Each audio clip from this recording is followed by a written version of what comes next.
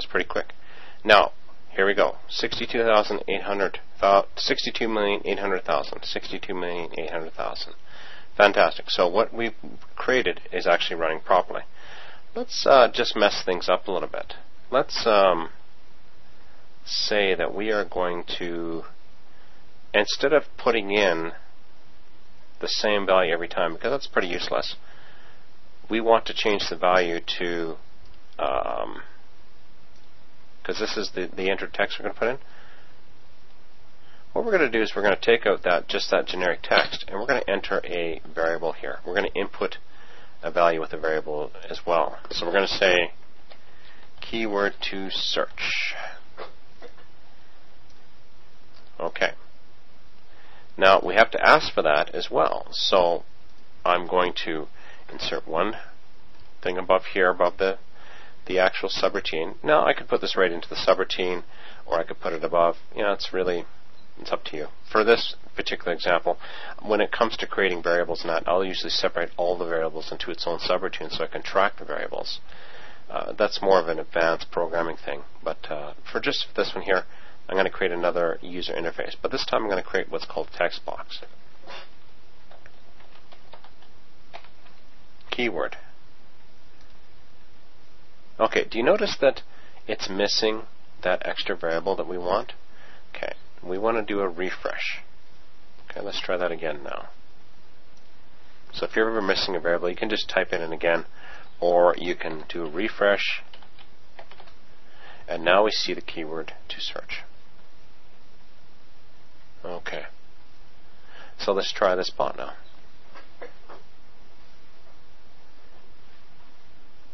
Oh, look at that. We have an error.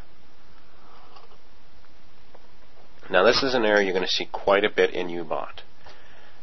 This here is an out of range exception. Okay, the index was out of range. That usually happens when you're performing. I'm going to move this down a little bit here. I bet you we're going to see the box stop. See how it's purpled here?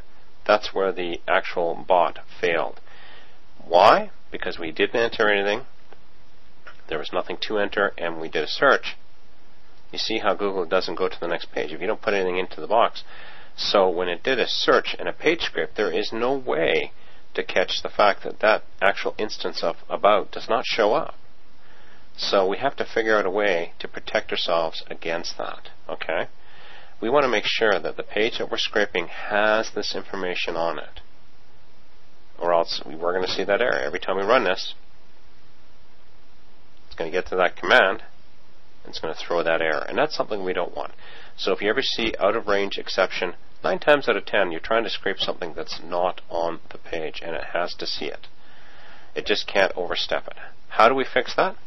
I'm going to click insert to to select the command, click insert to put one command over top of it, right click, and I'm going to use a flow command called if. Now, what I'm going to do is I'm going to say, because with the if statement I can say, if something's on the page, then do this. So we're looking for this information right here. If of about is on the page, so let's right click. Now you can, this is a cheater way to grab information that you need. Okay, I'm going to just do a control C for copy, cancel. Okay, search page. If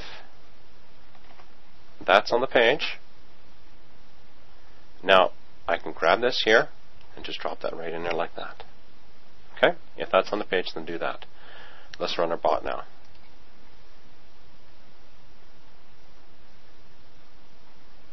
And of course, we don't get an error now because this command here is being overstepped because it's not seeing when it does a page search of about is on the page. This is one piece of code that I recommend you use all the time, especially when you're doing any kind of page scrape. Check to make sure before you scrape a page that the information is actually on the page. You can still see the error if you have not refined your search on your page scrape enough and you see more than one incidence. So you'll see one part but not the other. I have that a bot right now that has that problem. Um, but you know, this here will save a lot of grief for you. So now let's try this now. Let's put in something here. I'm going to put in um, UBot Studio.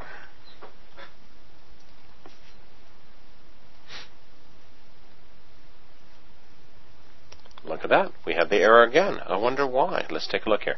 Once again, it's an out of range exception error, so it's got to be a scrape error.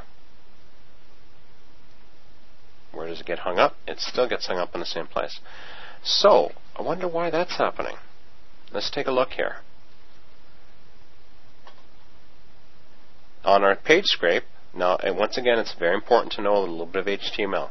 This is a bold closing tag, bold closing tag, then we have up about, then it bolds a number, okay, we grab the number, and then the second part is a for, and it, it closes, and this is the entered text. Oh, look at that. That was for the previous search that we did, so we have to fix that. You see that you see how this has changed. This is for the actual text that was entered. So what we can do, we can do a couple things here. The best thing to do is we can right click on this. Okay, insert string. We can select this section here.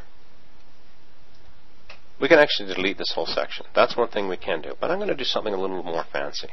I'm going to actually insert the keywords to search. Okay, you see it stuck that one at the end there? I'm just going to grab that.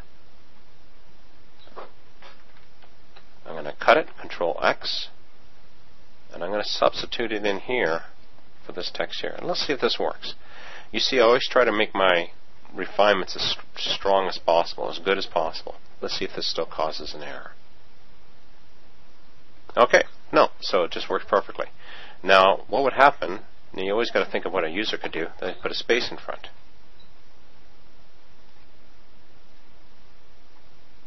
Okay, look at that. Once again, it's throwing an error. So maybe what we're doing is not the best thing to do. So let's just insert a string here again. And I'm going to get rid of the rest of the stuff here. Okay, so let's try that now. Okay, so it's grabbing it no matter what now. Let's try different, something else. Stuff to collect. Everybody's got stuff, so that's a good thing to start with. Stuff to collect. So there we have it. It's grabbing the number perfectly. And that is your first lesson. What, what have we done here? Let's just recap. First of all, we've created a, and actually let me just do refresh. You see how these are backwards? Let's do refresh. See, it switched them around. And what the, the refresh does is it takes the list looks at when the user elements are actually called and then presents them in that order. So first of all, we created a user uh, interface text box which grabs keywords that we're going to enter into here. Second, we run a subroutine, which is pretty much the rest of our program. Navigates to Google, waits for the page to finish. Let's just go here. chooses this attribute here, which is the Q. Look, if we look at the attribute Q, um, then we change that value by inserting the keyword that we put up here, this variable here. Next, we choose the button. The button name is button G, and you can see button G. Okay, we click chosen we had to wait for the page to finish. You got to make sure you put those wait finishes in. If there's any one place that's going to mess your code up, is wait finish. If not having it, that is. Next, let's just put something in here.